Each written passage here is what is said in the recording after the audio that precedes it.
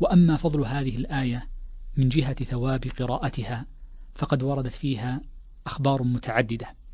ومن ذلك ما جاء أن في قراءتها دبر الصلوات الخمس قبل أن يقوم المصلي من مصلاه أنه يكون سببا لدخول الجنة.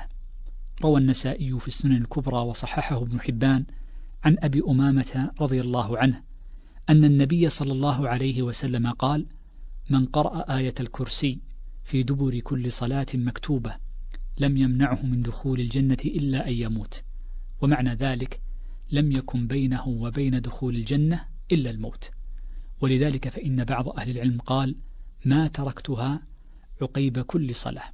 وقد ورد أيضا أن قراءة هذه الآية دبر الصلوات يكون سببا ليكون القارئ في ذمة الله.